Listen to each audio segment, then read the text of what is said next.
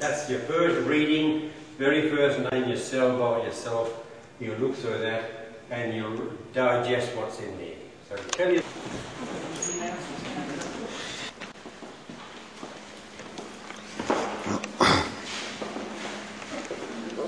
I must say that when that was operated. So everything I'm telling you about here for males, you would go through the same process. You would be birthed on the day of your release from prison. You'd be brought out of the cells over there, brought through this door here, into here, and you would discharge your prison uniform, have a shower, pick up your outside clothing, your jewellery, etc., and you'd be taken over to the front of the gate, and you'd be officially discharged from the prison at 10 o'clock in the morning. Here into the main prison. Would you mind closing the door when you come through? sir? You can close that one as well, thanks. Yeah. Just bang it closed. Yeah, but not as deep. That's true, but longer. I hate this short as well. Just have a look around you. Does it look like a prison? Yes. You wouldn't sort of mistake it stumbling in the dark. You wouldn't think it was a Hilton or something like that, would you? Yeah, yeah. this Swan River colony here in WA, nine, Adelaide didn't exist. Neither did Melbourne, neither did Brisbane. Gold Coast, nothing. Sydney existed as a convict colony. This one came about as a free colony. To be granted land here, you had to have your own internal workforce to be able to be given land and work it here. But between 1829 and 1848, there were still less than 4,600 people in the whole of this state. It's a long time, there wasn't many people. And they had no labour force to build roads or anything.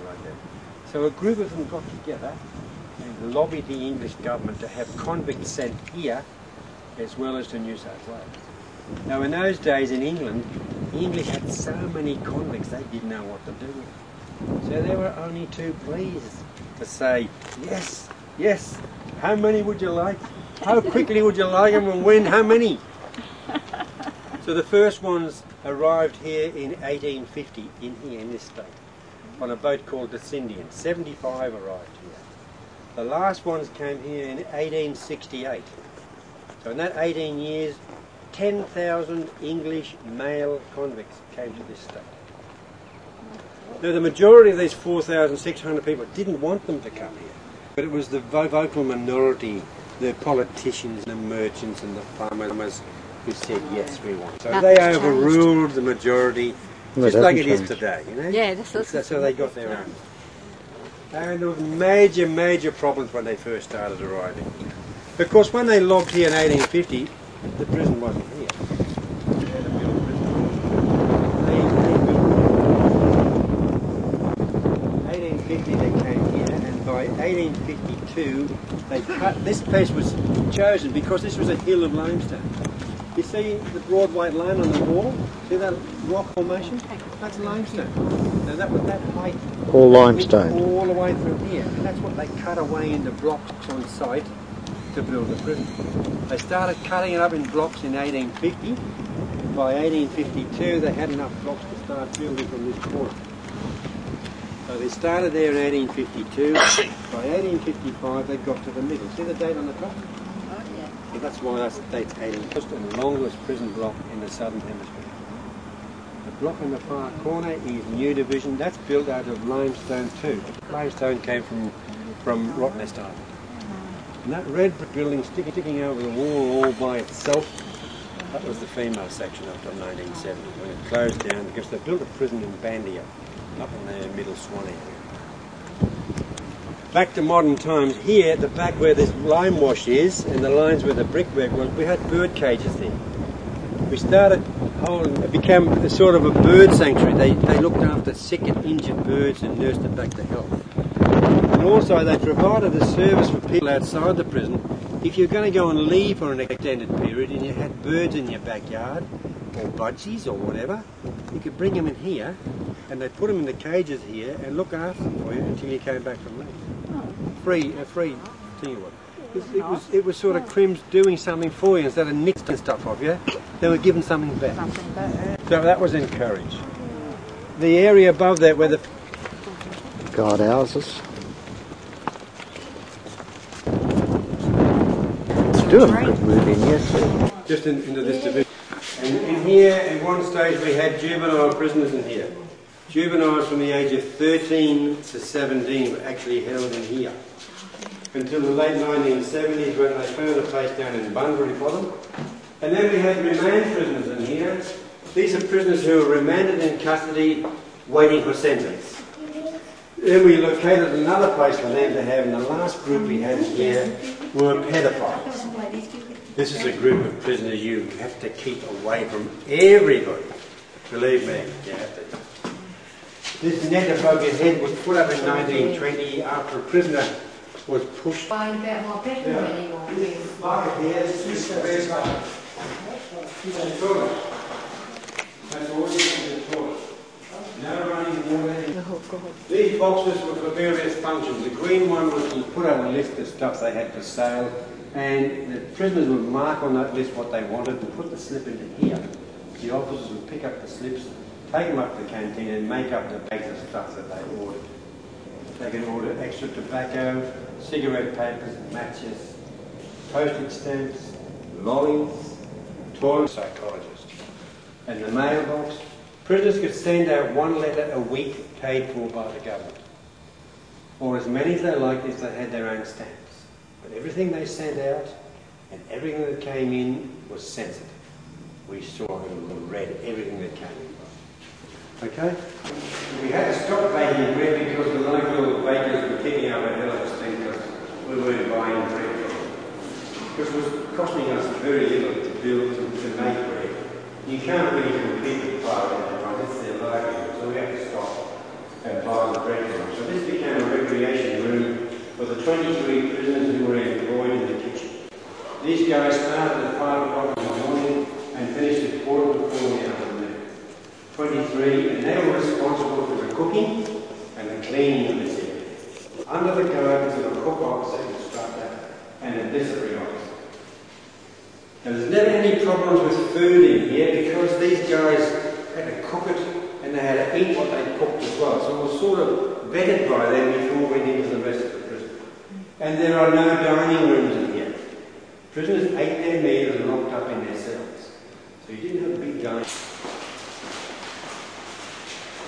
because they had to cook in excess of 600 meals at a time. So you had to be, had to have all the facilities to do that, and it had to be run like clockwork. So you could tell coming in here any certain time of day exactly what stage they were cooking. Through here was where they um, cleaned fruit and veggies, salad and things. Permanently plugged a big metal hot pots, big bain. That's how the food was kept hot to be delivered to the divisions to be fed. Here was a butcher's shop and a walk-in freezer. At the back there was a couple of toilets and a couple of showers. Only being used by the prisoners in here. But that was then only people got to use it. The board house was around the corner to the right.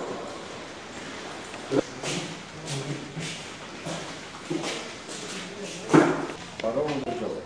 True, it is. Never run out of that commodity. And, and how you've been doing the talk. As it is, so isn't here, we also had a prison school. School teacher came in five days a week, and we encouraged these kids to go to school. But not all of them went. Some of them went, some of them didn't. So we never, we never forced them to go because if you force them to go, they just disrupt the ones who were trying to do something. They got paid a little bit more money for going to school than they did if they didn't go to school. So if they got, didn't go to school, they sat here all day, every day, playing cards, playing checkers, reading comics. They had a daily newspaper come in, and they also had a TV set. Top of that ladder had a TV set. And the channel was usually controlled by whoever was the biggest idiot in the yard, biggest and the strongest in the yard. So whatever he wanted to watch, everybody watched it.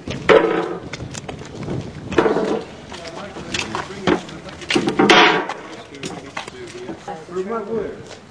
You see the Mew Mew the wall there, painted on the walls in the middle of 1991 by certain Aboriginal painters, some of the good painters got permission to do. Because prior to that they weren't allowed to touch the walls. There was always a large Aboriginal presence in jail. Always. At least about 60%. prisoners would be Aboriginals. Huge population of Aboriginals. So they were given special permission. So these paintings are well over 10 years old now. The prison That's good. was like this. Quarter to seven in the morning, we sounded a siren at the front gate, which gave prisoners 15 minutes to wake up, get dressed, have their cells clean and tidy, and their beds made. Yeah, and wait until they were called in for breakfast. So when they were called in for breakfast, they'd go in, pick up their breakfast, go into their cells, and they were locked in to have breakfast. They were unlocked again at 8 o'clock in the morning, they came down again from the cells, and they sat under here and waited until they were allocated to their particular workshops. They went to work until midday. Midday they finished in the workshops, were escorted from the workshops back through here, and sat under here, and they had their midday meal together under there. Midday meal was usually something simple like pies or pasties or sausage rolls, something like that. Something you don't need a knife and fork. 12.30 they went back to work again until about quarter to four. Quarter to four, same routine. Left the workshops, escorted from the workshops through here, and they sat under here and waited till they were called in for the afternoon meal. So, when they were called in for afternoon meal, landing by landing, they went into the corner of the yard and they picked up all they could go to if they wanted to. And exercise. They could play tennis here, or basketball tennis. or.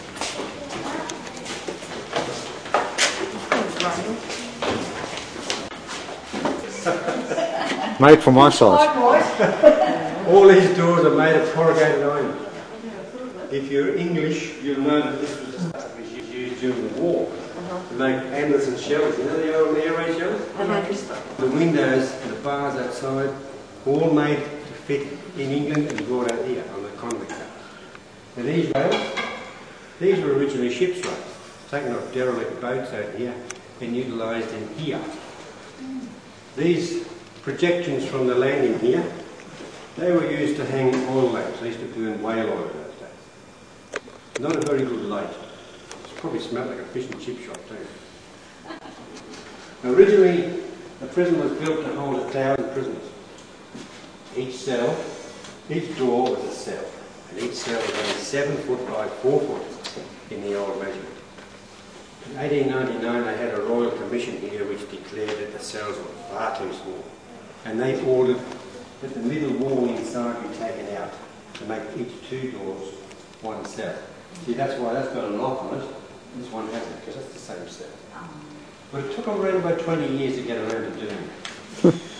Don't move, move too quickly in this thing. That's what WA stands for. Wait a while. That's true. No one told. You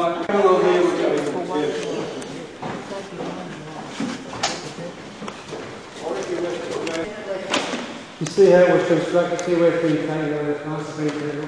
1855, that was put up, still standing up. All the timber in the roof is jarrah.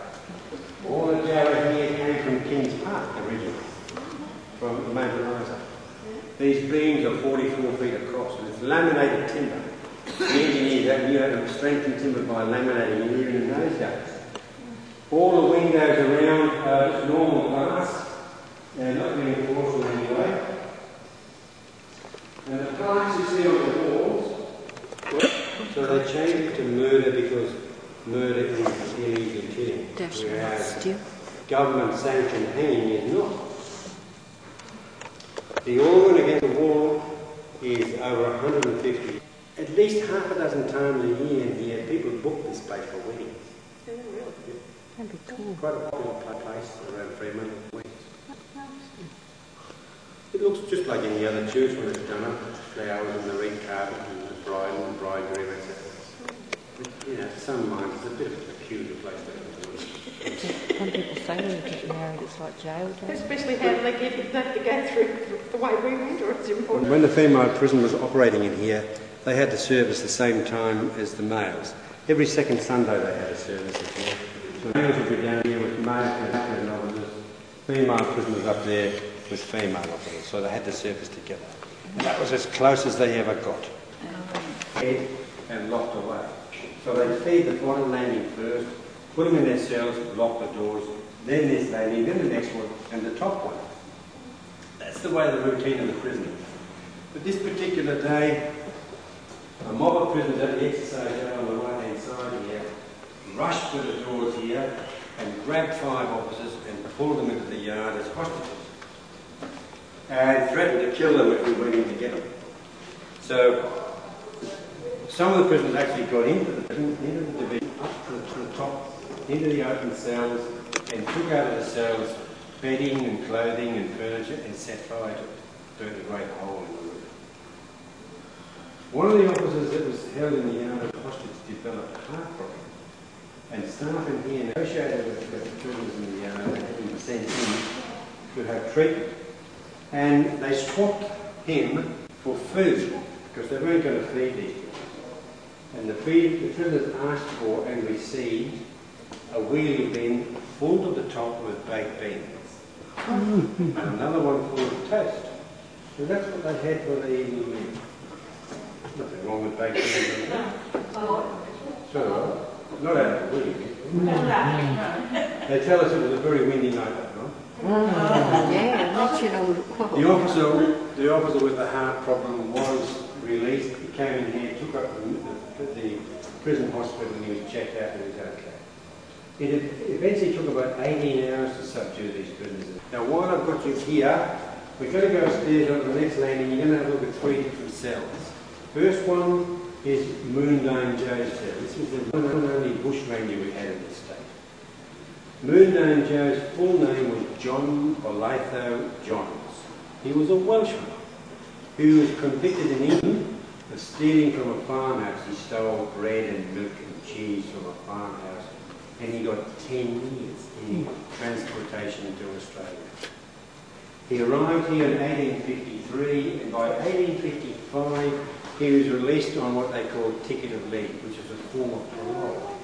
He went to work up in the hills, up in um, the upper Swan, up Toodyay up that way, and eventually he was convicted of stealing a horse up there, and he was locked up again.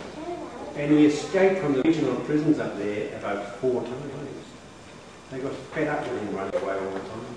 So they brought him down here and, and they made this cell especially for him. This was a seven foot by four foot cell and they put two inch thick jar planks on the walls to make sure that he couldn't get out.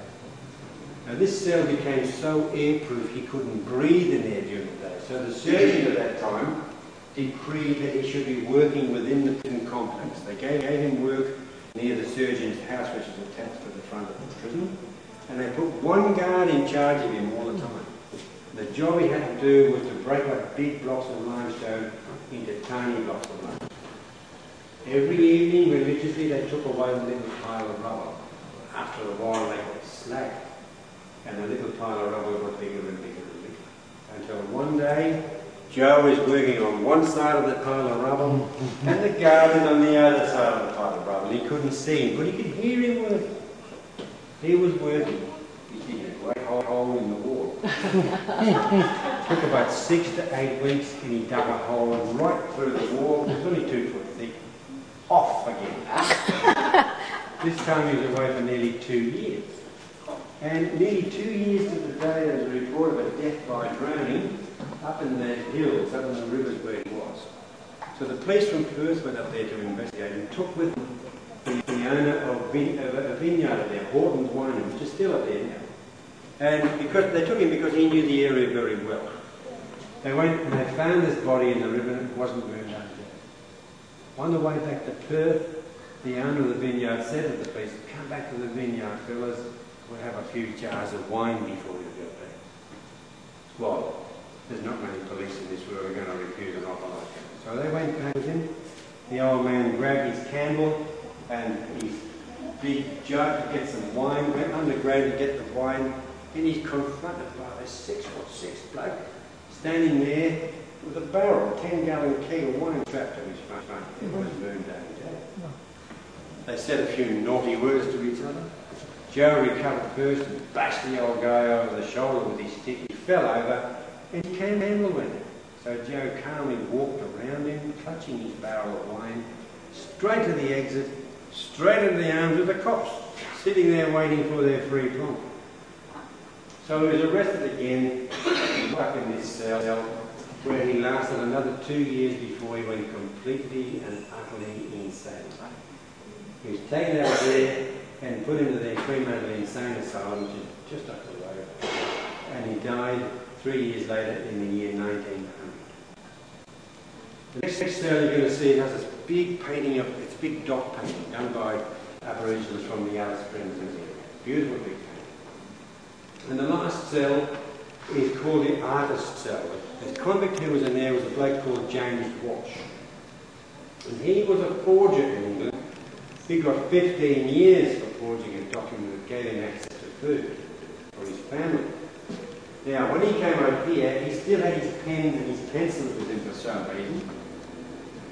And he used to draw on the walls. But the trouble was in those days you weren't allowed to do things like that. So after he'd done his drawings, he'd cover the drawings with his issue of porridge they couldn't see it. Now eventually he finished all the walls in these drawings and every three to five years again, all these walls out here inside were all lime washed to keep the bugs down and keep them clean. So his walls had the drawings on the wall, covered with a layer of porridge, and covered with several layers of wine wash. It wasn't until the 1950s this cell was being used as a storage cell for mops and buckets and things. One of the prisoners who was a cleaner on the landing went in there and accidentally bashed the bucket against the wall. All the plaster fell off, and lo and behold, there's these drawings on the wall. They were done in the 1870s. So you're going to have a look at them.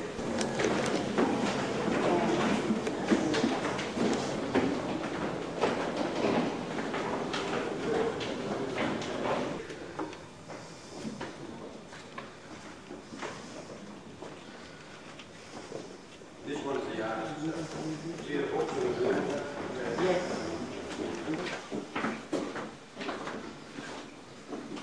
Nineteen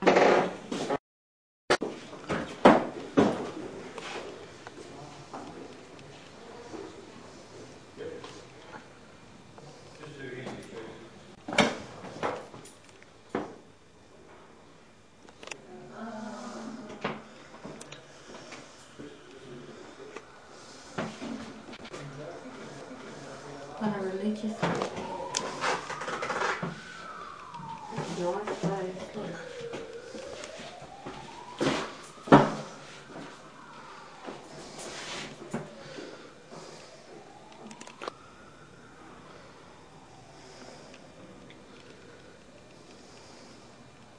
They lived together in a room like this. And after they finished their time here, they were released on what they called ticket of leave, which gave them permission to work outside mo- for wages, but they could not return to England until that ticket of leave portion was finished. So this was a ticket of leave. This was a, an association. You see the hooks in the walls? That's how high up they lived when they were living here. They were hard hooks. The mural was painted on the wall in the early 1900s. And the organ is over 200 years old. Once again, it's an American design, but I never ever heard that one played. Heard, heard the other one, but never heard this one. The reason for this place came about because not all convicts that came from England were Church of England or Protestant. Quite a few were Catholics. But they were not allowed to worship in that other church. So they asked for a place to be set aside to worship, and the English refused them. They said no. Now, uh, Church of England is the only church you can have in the prison. You can't have it. Catholics were not very well liked in those days. Even though Catholicism was much older than Church of England, they still were a second-rate religion in England in those days. So they didn't get much joy from the English when they asked for a place for worship. Personal income taxes to keep funding all these boats that came out to Australia loaded with English convicts for Australia.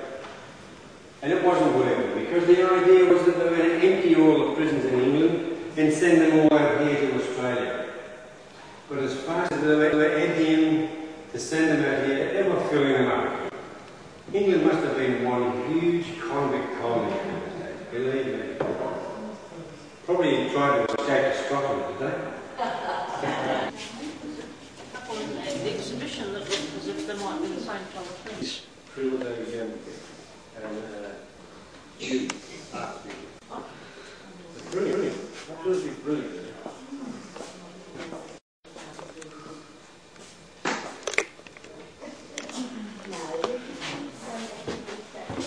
Not very good night now. Be playing with the pump. And a few children have been doing these cameras, uh, liquids and drinks. And crack copper. Now, this one, have a look at the bed now, we've all seen beds like that. The old one, multi-door bed. And How they settle the man, the little walls there, you know, come next door and have a look at it.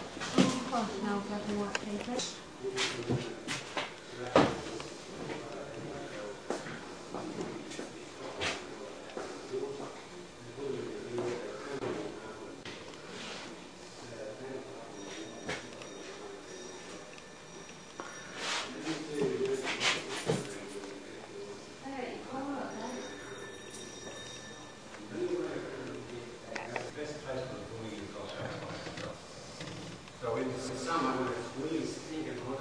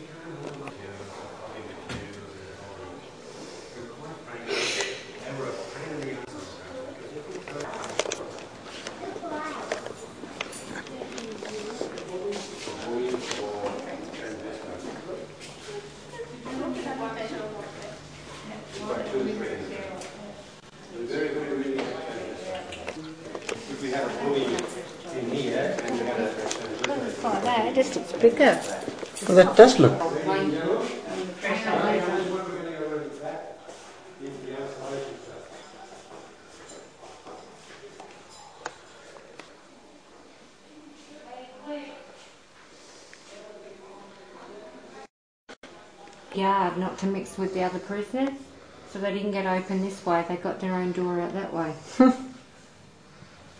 So they actually catered for transvestites.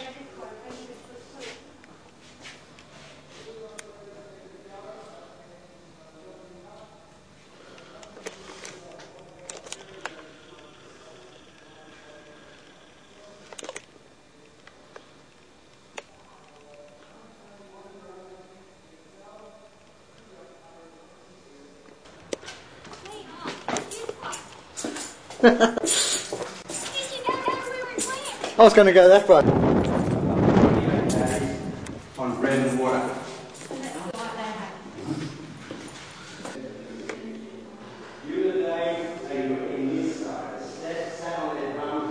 Where there was a chin mattress hmm. and a blanket and a. Hours out of every 24. So it's a long time. Cells number one and two were held for prisoners who were going to be hanged. In those days, they were held in the death cells over in New Division, and on the morning of the hanging, they'd be woken at five o'clock in the morning, taken for a shower, and given a clean prison uniform.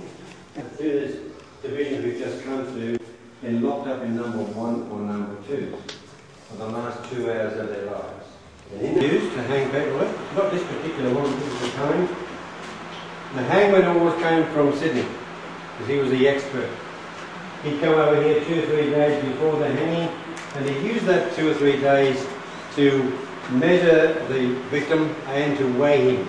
And they practice, once they've got the weight, they practice with these bags of rock to get the right drop. Because heavier people don't have to drop as far as lighter people.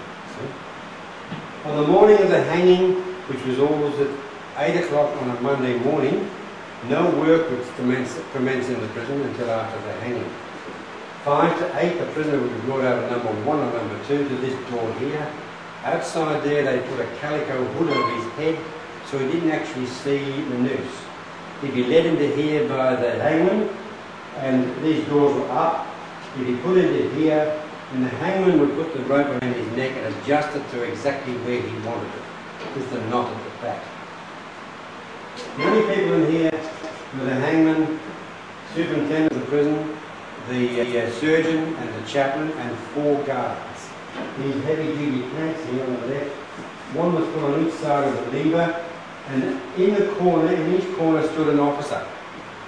And his sole job was to stand close to the person going to be hanged and able to hold him up like that. So if he rocked towards you, you pushed him so he stood up straight. But he had to drop straight through. If he was unable to stand at all, the chair was holding him. Put on a chair and hang from the chair. So, first stroke of the clock at the front gate, 8 o'clock, that would open the doors and he'd fall through. So that would be the last sound you would hear. We to let them hang for between 7 to 15 minutes. Then the body was lowered down to the ground, checked by the surgeon, and could be put on a covered stretcher and taken out of the front and outside the prison. It was known that there was relatives there ready to pick up the body and take it away for burial.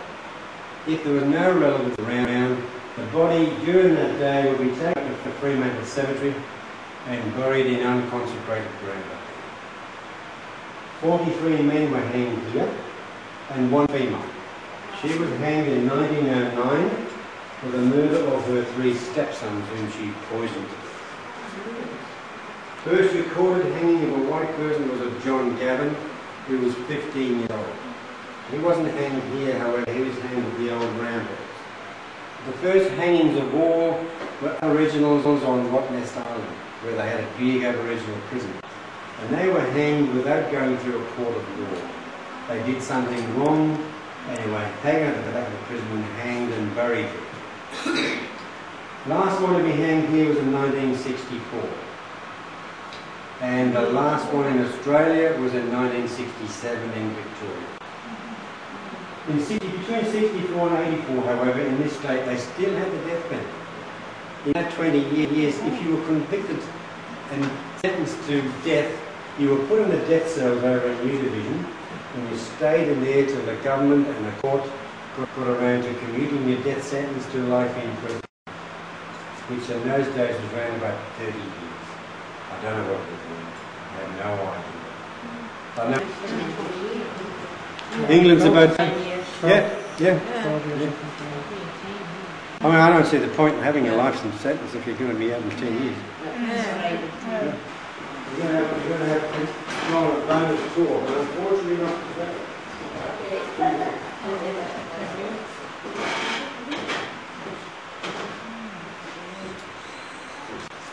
Girls?